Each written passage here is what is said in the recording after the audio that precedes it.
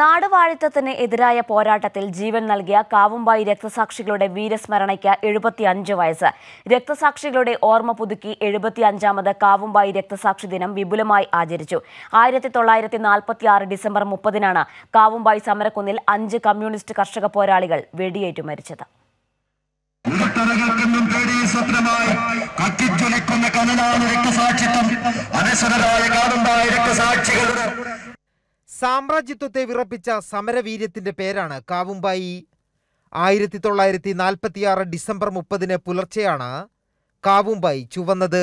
M S P സൈന്യവും കരക്കാട്ടിടം നായനാരെന്ന ജന്മിയുടെ ഗുണ്ടകളും കർഷകരെ നേരിട്ടപ്പോൾ അഞ്ച് കർഷക പോരാളികൾ ധീരരക്തസാക്ഷികളായി. തെങ്ങിൽ അപ്പനമ്പ്യാർ ആലോറമ്പൻ കൃഷ്ണൻ മഞ്ഞേരി ഗോവിന്ദൻ പുളുക്കൂൽ കുഞ്ഞിരാമൻ പി കുമാരൻ എന്നിവർ ചുടുചോര കൊണ്ട് ചരിത്രം രചിച്ചു. ഐതിഹാസികമായ കാവുമ്പായി സമരത്തിന്റെ ഓർമ്മ പുതുക്കി നടന്ന ബഹുജന റാലിയും പൊതുയോഗവും സി പി ഐ എം കേന്ദ്ര കമ്മിറ്റി അംഗം ഇ പി ജയരാജൻ ഉദ്ഘാടനം ചെയ്തു. കാവുമ്പായി മണ്ണിൽ പടഞ്ഞു വീട സഖാക്കൾ ഒരു നല്ല കേരളമാണ് ലക്ഷ്യം കണ്ടത്.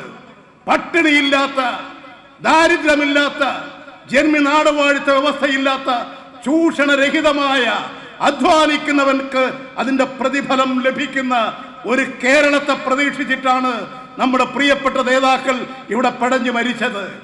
അവരുടെ ലക്ഷ്യം സാക്ഷാത്കരിക്കാൻ സഖാക്കളെ ഈ കേരളത്തെ ഉയർത്തിക്കൊണ്ടുവരണം. അതിനുവേണ്ടി ഇടതുപക്ഷ ഗവൺമെന്റ് ശക്തമായി മുന്നോട്ട് പോകും. അനുഭവങ്ങളാണ് നമുക്ക് വഴികാട്ടി. കേരളത്തിന്റെ അനുഭവങ്ങൾ ഇന്ത്യയിലെ മറ്റ് സംസ്ഥാനങ്ങളിലെ അനുഭവങ്ങൾ ലോകത്തിന്റെ അനുഭവങ്ങൾ.